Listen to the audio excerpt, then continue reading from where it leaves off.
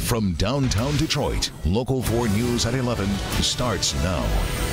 Is there an answer to finally getting all of us some car insurance relief? Nobody else pays the rates we do. She's right, and Detroit's mayor is working on a fix. Terrified customers look on as a rowdy group causes chaos inside a busy Greektown restaurant. Also tonight, a surprise pregnancy and an adoption battle. How can anybody do that? A teenage mother's emotional fight. But we begin with breaking news from Sterling Heights, where a car has crashed into a business. We've just learned it was a two car crash and speed is believed to be a factor. One of the cars crashed into a meat market that was closed, but there were employees inside at the time. Tim Pamplin on the scene with the night cam. Tim. Quite an amazing sight here on Ryan Road, just south of 16 Mile. The Ishtar Meat Market. Well, a driver got involved in a collision, went off-roading, crashed right in to the butchers here. Now, I just got some video from one of the workers. They didn't want to go on camera. Take a look at this. That was seconds after the car plowed into the building, smoke billowing out of there. Now, there's the second car. That car was involved, was a collision with the Envoy. The Envoy, one witness tells me, was traveling very fast, simply couldn't stop and went careening into the building. Back out here now, I'm being told uh, there were three workers. The store was closed, but there were three workers working in the back. None of them were injured. The driver of this vehicle has been taken to the hospital to be checked out. The owner of the strip mall tells me this store was just refurbished three months ago. That is the scene right now in Sterling Heights with the night cam. Tim Pamplin, Local 4.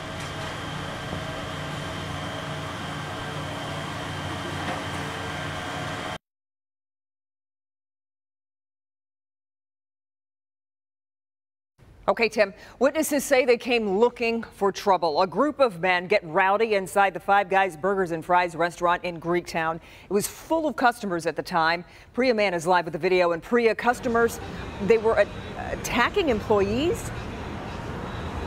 Yeah, that's right. Witnesses say this group of men, they were throwing drinks, yelling obscenities, at one point even tried picking up the cash register. And they say they were embarrassed to see this type of display at a family restaurant. The guy in the blue hat picked up a bag of potatoes and threw it. That was the first thing. A Sunday evening in Greektown after the Lions game turned violent at Five Guys. Everything escalated so quickly. It was very chaotic, very hectic. It went from a 2 to a 12 in like 30 seconds. The witness says the young men were drunk and looking for a fight. They bumped into four females on accident, and when the females said something, they were like, F all you bees, cuss at them. Workers tried in vain to tell the group to leave. I was wondering, did someone have a gun? I was wondering, you know, how disrespectful they were going to get because there was obviously no boundaries. It didn't matter if you were a woman, a man, older, younger, it didn't matter. The incident happened around 9:30 Sunday evening when downtown was still packed with families. When Detroit police arrived, the men tried sneaking out, but within minutes, both were in handcuffs. The workers were outside crying uh, one was one lady was pregnant and she was scared because she said she doesn't know how she's going to pay her bills. The witness says she was embarrassed to see this display at a time when the city is trying to change its image. People are feeling safe, and for them to go down there and make such a ruckus and embarrass, you know, the city is just terrible because we're going forward, not backwards. And we're told there's additional security on Fridays and Saturdays, but not on Sundays. We did reach out to management at Five Guys, but did not hear back. Detroit police investigating those two men, not yet been charged. Reporting live from Greektown, I'm Priya Mann, Local 4. All right, Priya. All eyes will be on Lansing tomorrow. Detroit Mayor Mike Duggan will announce plans to reduce auto insurance rates. As you know, Michigan drivers pay the highest insurance rates in the country, and many agree the state's no-fault policy needs some kind of an overhaul, but there has been little agreement on how to do that. Let's get to Mara McDonald live with what the mayor's plan looks like. Mara. Good evening to you, Devin. And you know, Mayor Duggan has been working with Republicans in Lansing. All will be revealed tomorrow. There have been several drafts of this plan, but here are some of the key points that sources tell us we can expect to see. Number one, a 30% rollback in insurance rates. Two, they're looking at capping what healthcare providers can charge for treating catastrophic injuries. And third, well, lower priced policies that would have a lower personal injury benefit as well. The eve of Duggan's big reveal with House Speaker Tom Leonard, two Metro Detroit Democrats had town hall meetings where they got an earful from people who think they're getting gouged. I've got a 2006 Toyota, and when I first got it, it was $479, and now I pay $2,200 for the same car. My insurance uh, is $846 a month alone.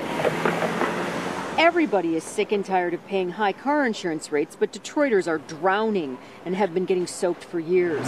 Mayor Mike Duggan has been pushing for no fault reform for months. Tomorrow, he unveils his plans, but we've been here before, attempting to reform no fault, and it has gone precisely nowhere. The key thing is are the rates really going to come down? We can make changes, but will the rates really come down and will they stay down? Henry Yanez was one of those hosting a town hall on the issue tonight, and what the biggest sticking point has been is capping those personal injury benefits. As it stands right now, Michigan is the only state that doesn't.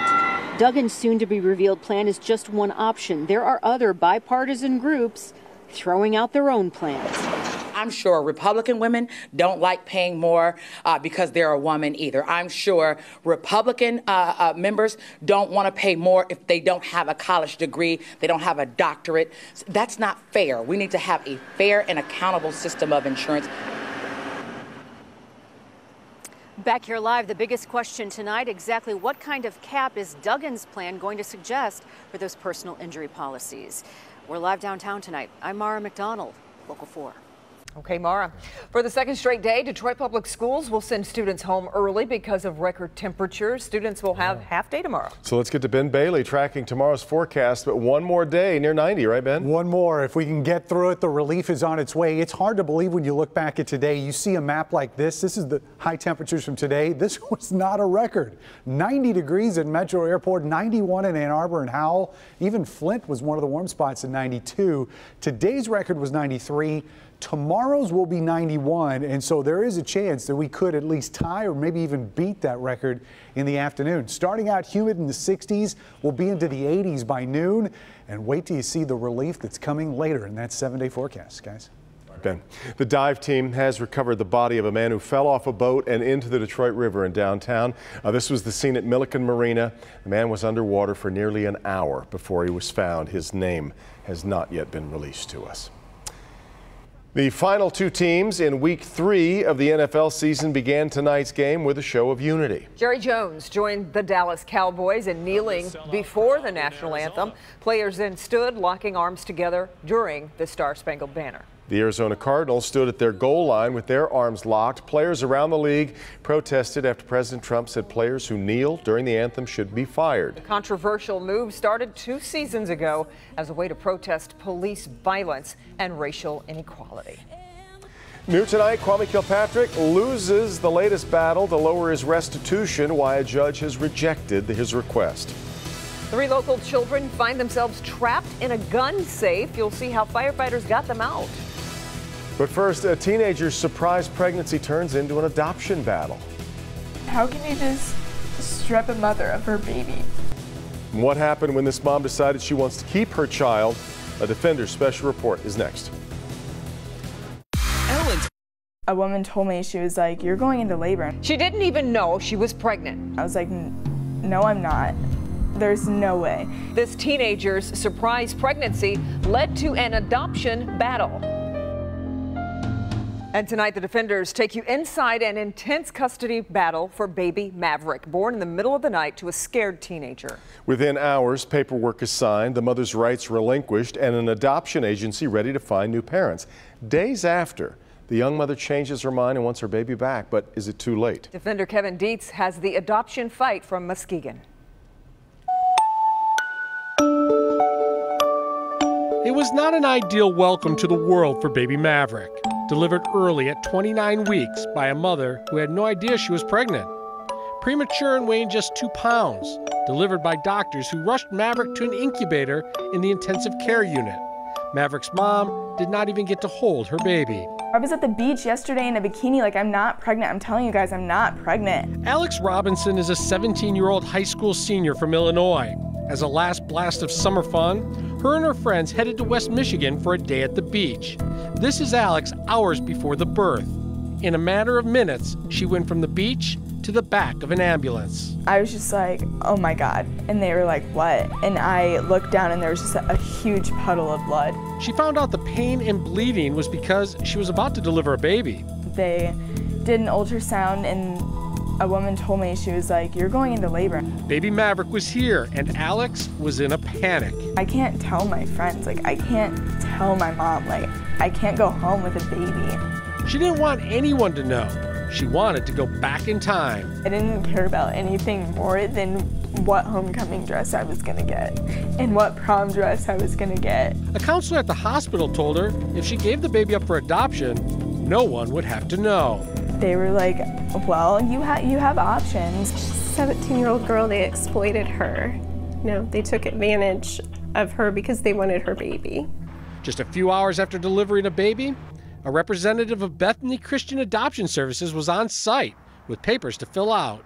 I just wanted somebody to help me like I didn't know what to think. She's a kid. She was in shock. She didn't even know she was pregnant. It wasn't only adoption forms. She was also given this safe surrender form to sign, which revokes all her rights to baby Maverick after a 28 day waiting period. There was no reason why they would have thought that I was mentally okay to make that decision. 12 hours after Maverick was born, his 17 year old mom was sent out the door with a cab voucher. This needs to stop because they just sent her out the back door, downstairs, cab gone. She could have hemorrhaged, she could have died. This needs to stop.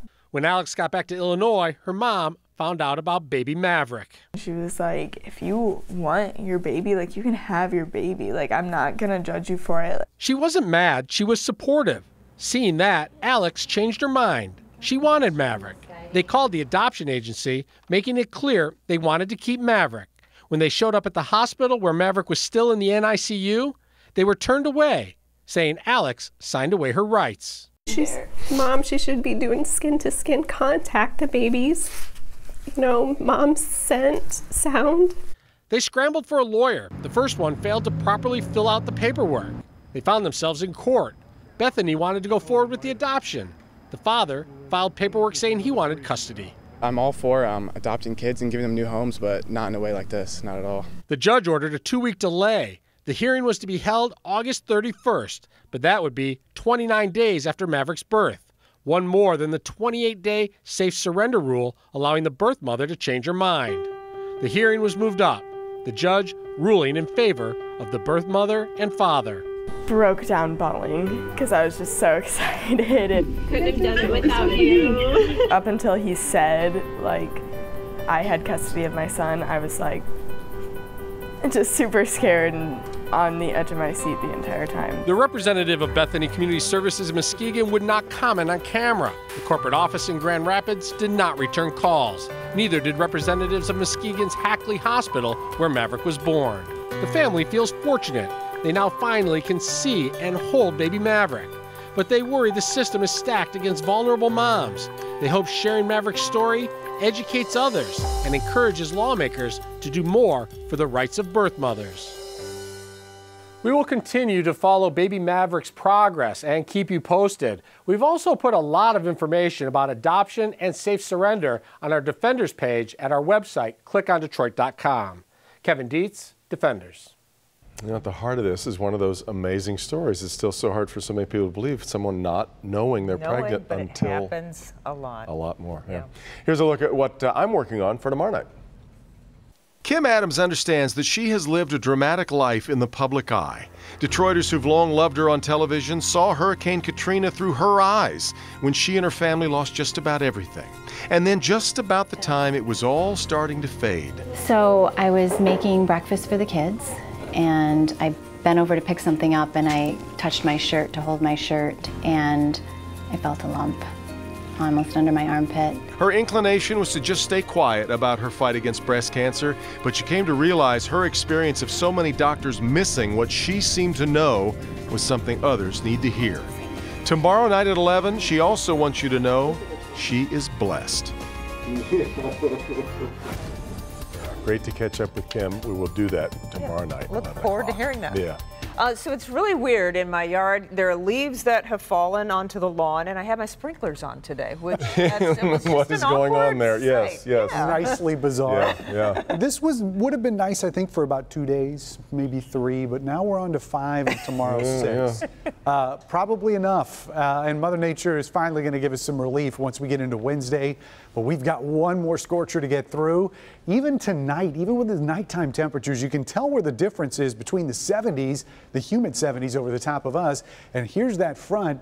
Look at some of these numbers, 40s and 50s, and would you believe it? We're going to be seeing lows even cooler than this as we get towards the end of the seven day forecast. It is going to be a drastic switch. In addition to the heat, of course, we're dealing with humidity and those dew points in the upper 60s. This is not comfortable sleeping weather, even as temperatures going to fall into the 60s tonight. A little bit uh, better to tell exactly where that front is, where the dew point gradient is, keeping the humidity here to the south and east and the drier air that's coming with the cooler temperatures as well. So as that jet stream starts to migrate over us, it is going to lift a little bit. So we're not going to see as cool as conditions as what they've seen out to the west, but considering where we've been, this is going to be a huge change as we finish out the week. And as we finish out tonight, pretty nice sunset on storm pins. This is from Clinton Township. You can see some of those pink clouds out there with the blue skies.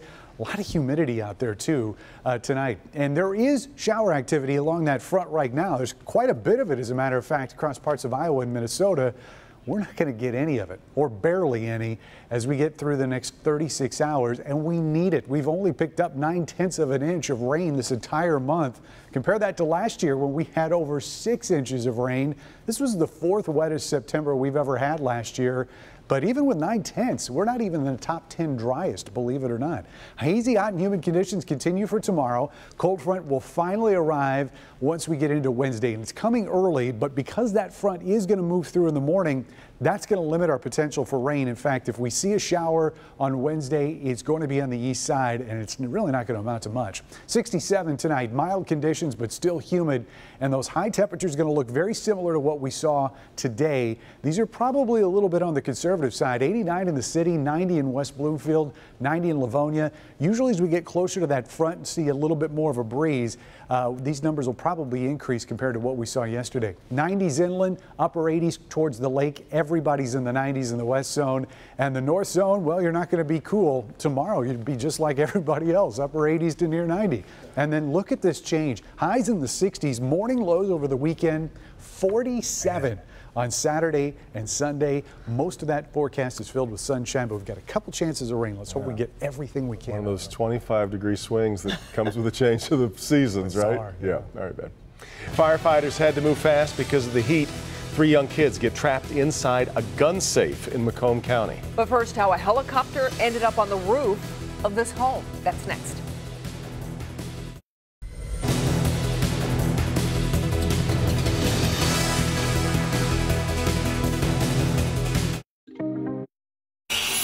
Detroit police are still trying to figure out who killed the owner of a flower shop and why. 31 year old Deontay Box was shot outside his home on Ohio Street on the city's west side.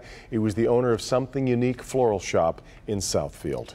Kwame Kilpatrick's request to have the rest of his restitution thrown out has been rejected. The former Detroit mayor asked a judge to shed his $1.5 million bill. Judge Nancy Edmunds refused his request, citing Kilpatrick used old arguments to make his claim. The search is on for this heartless crook. She stole a charity jar full of money from the counter on the 7-Eleven on Romeo Plank in Macomb Township. If you recognize her or saw anything, you're asked to call police. A pilot is in stable condition after his helicopter crash on top of a home. The accident happened this afternoon outside Tampa, Florida. Investigators say this was a home-built helicopter made from a kit. The cause of the crash remains under investigation. Nobody was inside the house when the helicopter went down. The latest effort to replace the Affordable Care Act is on life support itself tonight. Republican Senator Susan Collins of Maine announced today she will not support the Graham Cassidy bill, making her the third Republican in opposition. So unless someone changes their mind, Republicans will fall short of the 50 votes they need.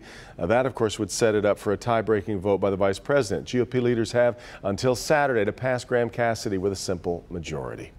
Firefighters in Sterling Heights came to the rescue to three children who accidentally locked themselves inside a gun safe. Take a look. This is the picture of the safe after firefighters used the jaws of life to cut it open. The family says the safe was new and the instructions and combination were locked inside Ooh. the safe with the kids. Other than being a little overheated, though, the kids were not hurt.